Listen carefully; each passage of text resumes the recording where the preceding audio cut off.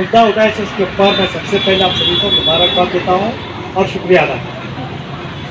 और पढ़ाई जो चीज़ है, वो कॉन्स्टिट्यूशनल राइट है। ये सी आर साहब बोल रहे मैं लोना दिला दे रहा हूँ पेंशन दे दे रहा हूँ, दस लाख रुपए ले रहा हूँ। अब उसके पीछे ऐसा लोग दौड़ना शुरू करे, बीसी को दो, और इसको दो इसको दो, मानने में कोई गलत नहीं है। जो डिमेट्स जो आ रहे हैं ना, जो लोगों का जो मूड जो डाइवर्शन कर रही है ना सरकार उसके लिए नोटिफिकेशन की ज़रूरत है। ये कॉन्स्टिट्यूशनल राइट है। ये संविधान हमको अधिकार दिया।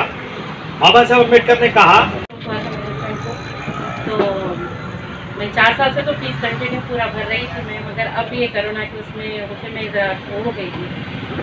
फ़ीस नहीं पे नहीं पे कर सक रही थी मैं। तो उसमें मैं रिक्वेस्ट की थी, मैं मार्च में वो करे थे कि मेरे को सबमिट करवा करके और मेरा बच्चा हैंडीकैप ही है। और उसका मेरे पास सर्टिफिकेट भी है हैंडीकैप का। तो वहाँ पे बोले थे कि फ़ीस फिफ्टी परसेंट कम होती है, आप स्कूल में सबमिट करा दो। तो मैं सर्टिफिकेट भी सबमिट कराई थी मैं, और मेरे हस्बैंड का मेडिकल सर्टिफिकेट भी सबमिट कराई थी मैं। वो लोग बोले थे कि हम लोग आपको इन्फॉर्म करते जो भी डिसीज़न लिए। मैं भी थोड़ा सा फिफ्टी परसेंट तो मेरे बच्चे को कम करिए। वो कह रहे थे वो लोग।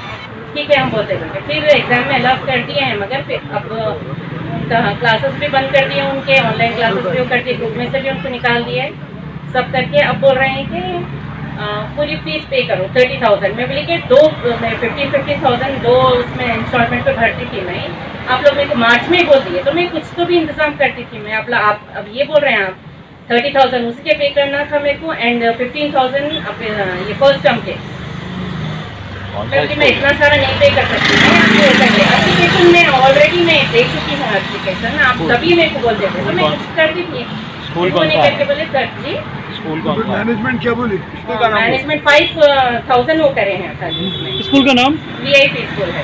Location area Vijayanagar college. Smartphone फराहम करूँ। हुजूराबाद के लिए दस दस लाख का ऐलान तो आप कर देते हैं।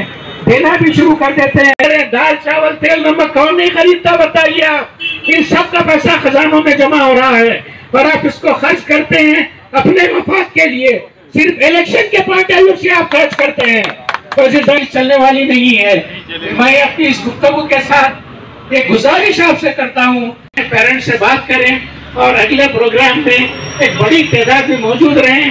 अगर मुमकिन हो तो अज़ीज़ पाशा साहब तरह से के स्ट्रक्चर कमेटी की रिपोर्ट हो या रंगनाथ मिश्रा कमिश्नरी आज तेलंगाना भूमि पुत्र की तरफ़ से सनाउल्ला खान साहब ने तमाम जितने भी संस्था हैं, ऑर्गेनाइजेशन वहाँ बुलाए हैं, बहुत ही अहम सवाल।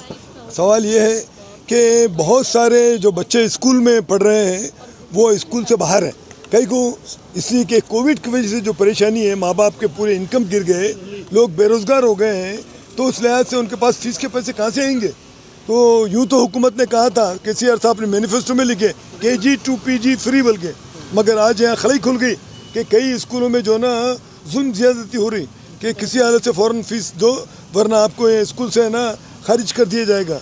तो ये परेशानी को लेके आज हम यहाँ पर बहुत सारे ऑर्गेनाइजेशंस के लोग, पॉलिटिकल पार्टीज़ के लोग भी यहाँ पर मौजूद हैं। यही सिर्फ़ हुकूमत को बोलने के लिए एक तरफ़ दलित बंधु है, दूसरी तरफ़ रैतु बंधु है, और तीसरा बीसी बंधु भी आने वाला है। अरे असल मसला एजुकेशन का है, विद्या बंधु रखो आप। जब जो है ना तो लोग बोलेंगे कि हाँ भाई, हमारे चीफ मिनिस्टर जो ना, एक अहम सवाल को लेके कुछ काम कर रहे हैं। मगर यहाँ देखें तो इसके मामले में कान पे जू नहीं रेंग रही हुकूमत की। अभी जो सीएमआई जो centre for managing Indian economy उनका कहना यह है कि इस सेकेंड वेव की तरह से कोविड की वजह से एक करोड़ लोग बेरोजगार हो गए, एक करोड़। और तिरानवे फ़ीसद जो घराने हैं, वो जो परिवार हैं, उनकी जो आमदनी घट गई। तो ऐसी सूरत में हुकूमत को चाहिए था कि वो आगे बढ़ के जो है ना, ये फीसों के मामले में फ़ौर जितने भी प्राइवेट इंस्टीट्यूशन को ये कह दें कि ख़बरदार, एक पैसा भी वसूल नहीं करना है। अगर करना भी है, अगर किसके पास गुंजाइश है तो आप आपस में बातचीत कर लेना। मगर ये जो है ना, ये मनमानी फ़ीस वसूल करके जो कई लोगों का मुस्तबिल को आप इसमें जो डाल दिए हैं तो वो बहुत ही गलत बात है।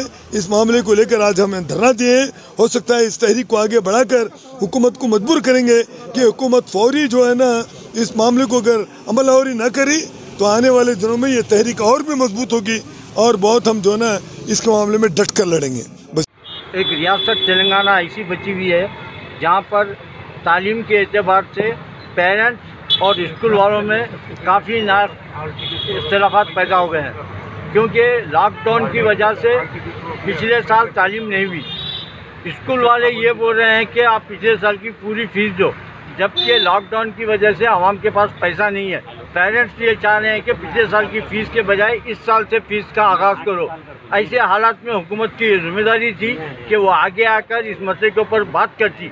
लेकिन हम देख रहे हैं कि पिछले एक महीने से हुकूमत की तरफ़ से एक ही बयान आ रहा है कि ट्यूशन फ़ीस लेना, स्कूल वाले दूसरी कोई फ़ीस देना, ये कोई ऑर्डर नहीं, कोई जियो नहीं, खाली एक स्टेटमेंट के ज़रिए हुकूमत अपने आप को बरी करना चाह रही। लिहाजा हम हुकूमत से अपील कर रहे हैं कि वो आगे आए और ये मसले के ऊपर हल करे।